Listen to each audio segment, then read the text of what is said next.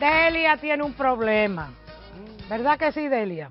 Sí. Delia tiene que contarnos porque ella como que no le gusta la película pornográfica, pero a su marido sí. Cuéntanos, Delia. Bueno, eh, doctora, el problema es demasiado grande, yo diría grandísimo. Eh, mi esposo, a mi esposo le encanta ver películas porno cuando tenemos relaciones. Eh, yo tengo sentimientos encontrados, ya que, para ser sincera, tengo celos, pero también tengo enojo, coraje, rabia, me siento utilizada, engañada.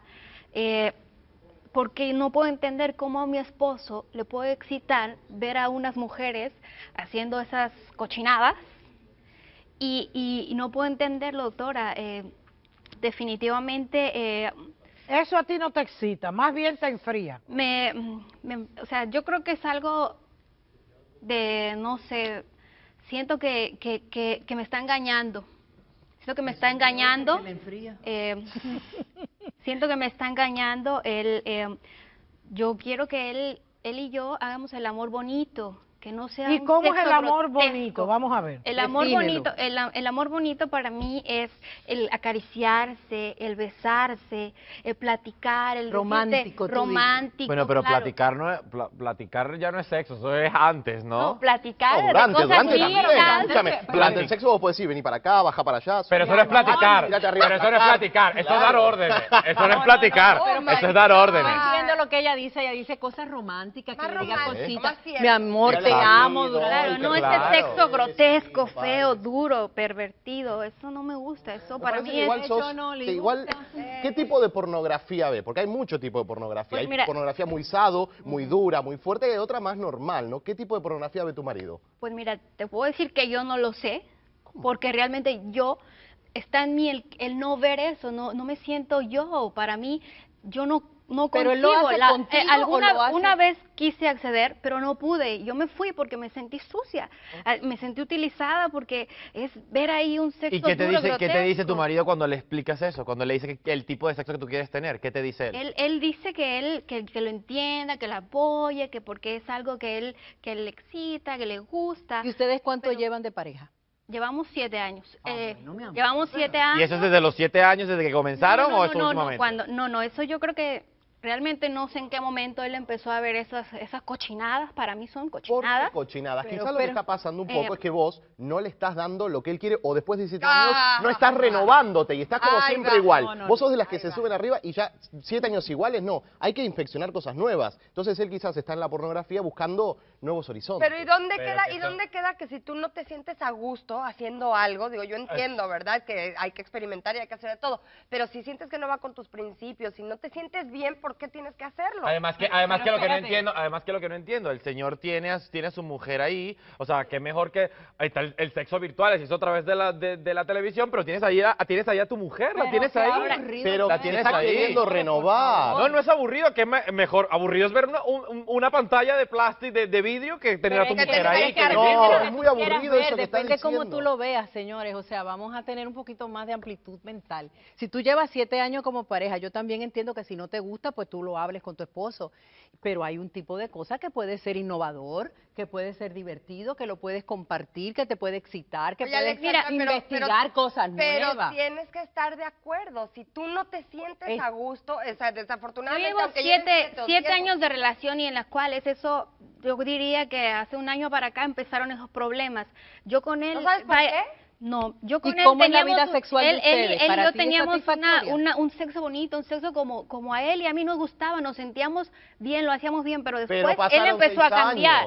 él empezó a cambiar. Ahora, yo lo que no quiero es eso. O sea, yo, yo, o sea, ¿cómo él va a excitarse con eso teniéndome a mí? Yo trato de cuidarme, para de estar simpática para él. Pudiera hacer yo otros jueguitos con él, pero, pero de eso, a ver esas mujeres haciendo Pero eso para mí no es intentaste, ¿Cuáles porque no jueguitos? es Y un sexo esas sano. mujeres. Sí, porque- ¿Cuáles Entonces, jueguitos? eso le. Ella está celosa de la Pero, pantalla. Bueno. espérate, ella dice que esos jueguitos, ¿cuáles jueguitos tú estás dispuesta a ceder? Oh. Bueno, lo- a lo mejor un día, no sé, mira, vamos a bailar, te voy a bailar o, o- No, eh, otra cosa, pero no, no necesariamente. Yo lo quise intentar, tú sabes, para que para apoyar a mi esposo, pero está algo dentro de mí que no me permite, al igual y son los principios que yo tengo, Claro. que igual y es mi esposo, ok, ahora me pide ver películas porno, pero mañana me va a pedir que yo haga lo que haga la mujer. No, y que el yo sexo, estoy está- y que el sexo a comienza en la mente. El sexo No, comienza pero- en la mente. O sea, si ella no le gusta, si ella no le ti- excita, no se va a activar para nada. Pero para ti está malo hacer lo que tú estás viendo o lo que Pero ¿qué es lo crees que pasa en estás esa viendo película? en las Hay que ver qué es lo que pasa en esa película. Yo pienso que sí. Eh, fíjense, aunque ustedes no lo crean, la mayoría de la pornografía es denigrante y humilla y maltrata a la mujer. Es. Eso es verdad. Y la mayoría de las mujeres no le gusta esa pornografía. Pero una Estamos cosa claros, un tipo de pero hay pornografía mala. más chulita. sensual. Hay más una sensual. sexualidad, hay Claro, cosas que pueden ser erotizantes. Sí. Exacto. Más que una Incluso cosa. películas con escenas de sexo fuerte. También. Que están bien hechas, porque es verdad, la mayoría de la pornografía está muy Además, mal hecha. Y de muy mal gusto. Pero también está, pero también, o sea, lo que dice ella, pero también lo que dice ella, a mí, la- a mí lo que me, a mí lo que me, lo que, lo que ella está proponiendo es mejor. Ella le está proponiendo otras alternativas más vivenciales, más reales. Oye, te bailo, oye, hagamos un juego de roles. O sea, quizás hay que analizar qué está pasando con el caballero, que lo que quiere es ver un pedazo Bueno, de vidrio, ¿me entiendes? buscando O sea, cambio, hay que ver que me gustaría que el caballero estuviera acá y nos dijera qué pasa por su mente, porque teniendo a su mujer ahí dispuesto a complacerlo, quizás no, no amarrándose o todas estas películas que, que hoy en día están de moda, eh, pero lo quiere complacer porque yo la veo a ella totalmente dispuesta. Tú dices, está cerrada. Está No la veo para No, nada yo- cerrada. yo- No la veo para nada. Kevin, por favor, pero no fue, Si la, la tienes que escuchar. cerrada, para nada. no me gusta, cerrada para nada. Kevin. Kevin, no puedes hablar que está cerrada. cerrada. No puedes hablar que está cerrada. Si la señora te está diciendo, estoy dispuesta a bailarle, a cambiarle, simplemente no le gusta la porno. Una pregunta, vos, ¿alguna vez, fuera de tu marido, de más jovencita, has visto porno sola? No. ¿Nunca viste Muy porno? raro. Y películas que No, tengan escenas eróticas. obviamente, obviamente uno ve películas a lo mejor, pero no llegan al grado ese. Por Porque que no le digo, "Ay, gusta, porque no le gusta. fuerte". Es como, mira, a mí, a mí, por ejemplo, a la gente le extraña que a mí no me gusta el chocolate. Y la gente, pero lo has probado. Ay, qué ¿ves? envidia te ¿Ves? tengo. ¿Ves? Tú eres bien no raro, me gusta, ¿no? ¿ves? Tú eres raro. Y no quiere decir a la gente, ¿no te gusta el chocolate? No, pero es que no lo has probado. No me gusta. Y eso no quiere decir que sea eh, eh, cerrado o no sí, me pero gusta. es más profundo que eso. Mire, Verdad. la mujer, acuérdense, que llega al sexo a través del afecto. Y en pornografía barata, que es la que abunda, es la mayoría, no se ve nada de afecto. Y como bien dijiste tú, es una deformación de lo que es la sexualidad. Son unos penes que ni los burros lo tienen de ese tamaño. Una gritería falsa. Ay, Exacto. ay, my God, my God. Sí, unas mujeres que todo lo tienen grandísimo. Falso. Y además Y la duran horas, duración. y duran las horas mujeres y son horas. perfectas. Es una distorsión Sí. de la sexualidad y yo la entiendo. ¿Y eso A mí, ahora si tú me dices que tú me pones nueve semanas y media, Eso es lo que le si digo. tú me dices que tú me pones, como es la de Michael La 50, Douglas? ah, no. Ajá. No, las 50, ah, ah, yo eso no nunca le vi esa, mucha las 50 gracia eso. de- de- No, porque de nuevo estaban humillando y maltratando a esa mujer, eso- usándola hay como un objeto. películas que tienen ese erotismo Claro, romántico que ella claro. requiere, eh, porque existe un erotismo romántico. Claro. ¿Y no se las has tratado de poner? A lo mejor una que sí te guste y que no... Pues bueno, mira, yo te digo, yo realmente no está, en- yo no, yo no veo eso todavía.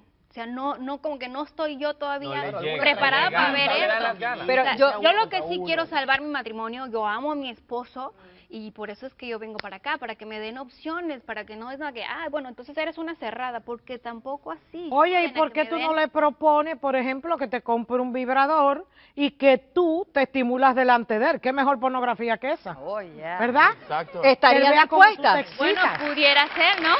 Es otra cosa. ¿Ves? Otra ¿Usted está cosa. dispuesta a hacer eso? Pudiera ser, eso es algo Y más jueguitos sexuales y cositas Yeah. sabrosas. La- eso, Exacto. igual y no me cierro en que, ah, bueno, es, esto nada más es la relación de así y así. Y que te- Pudieran ser esas cosas que, no son todo, de migrantes grabe, para... Que se graben ustedes. Bueno, ya eso Estaría- está. Eso está bueno. No, no, no. Hay que Sí, probarlo. bueno hasta que caiga el celular en manos de otra Bueno. gente. Eso es un lío. No, eso- sí, no, que sea algo íntimo entre él y yo, porque se supone que para eso uno tiene relaciones, para estar en intimidad con tu pareja. Yo te voy a hacer una pregunta y nos vamos a ir a un comercial. Y me vas a contestar después de esta pausa. ¿Tú estarías dispuesta a que él, como le gusta su porquería y su pornografía, yo pienso igual que tú es una porquería, tú estarías dispuesta a que él vea su disparate y cuando esté listo tú entres en escena. ¿Estaría dispuesta a eso? Volvemos en breve.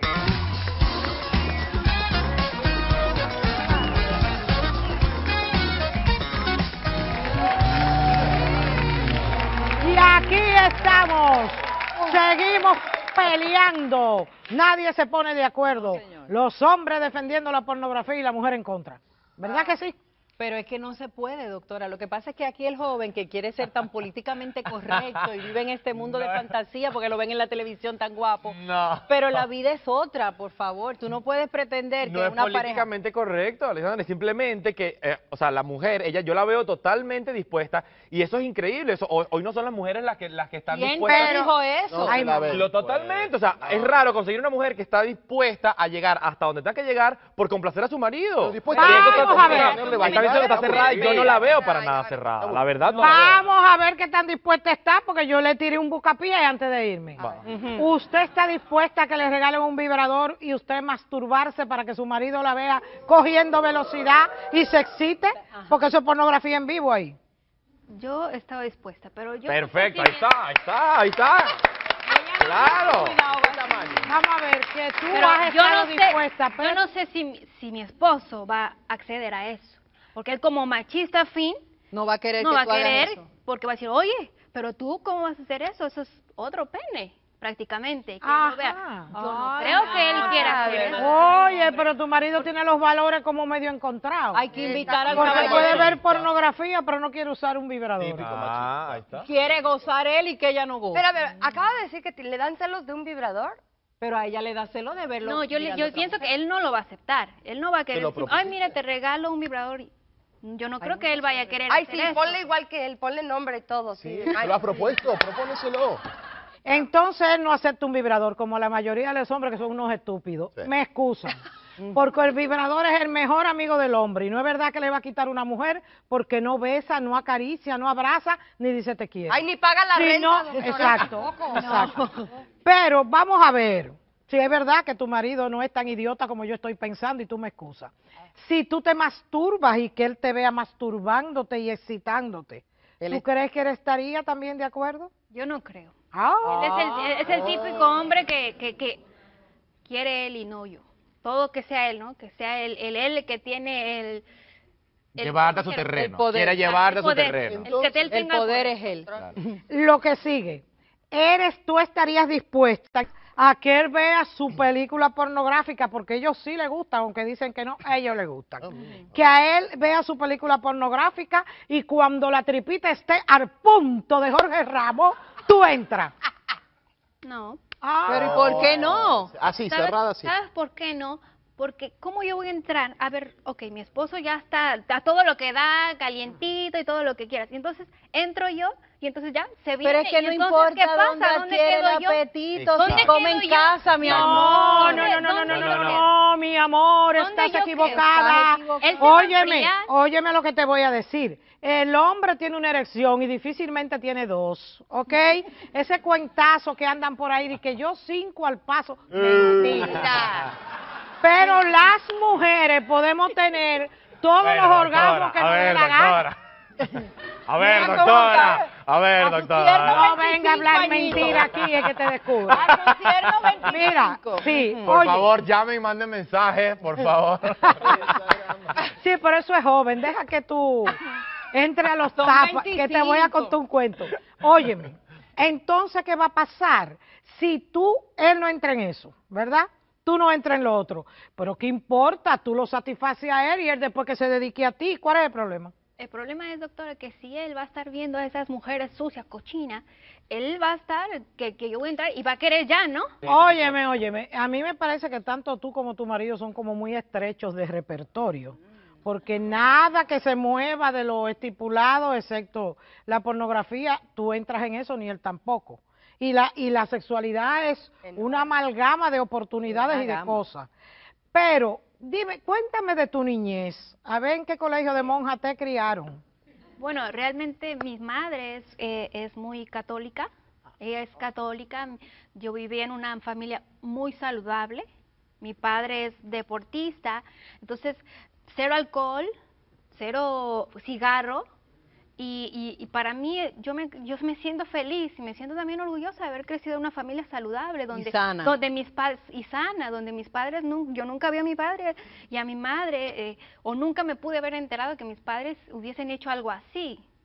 Menos Pero mal. es que- ¿Por qué no Pero tenían no la te lo computadora? iban a ¿Por- Menos mal. ¿Por qué no tenían la computadora, no tenían el internet para ver como ahora? No, no, no, Oye, no te lo iban a contar. Que conocer una familia sana es una familia donde se habla de sexualidad en libertad y se le enseña a la persona que usted tiene derecho al placer y a disfrutar la sexualidad.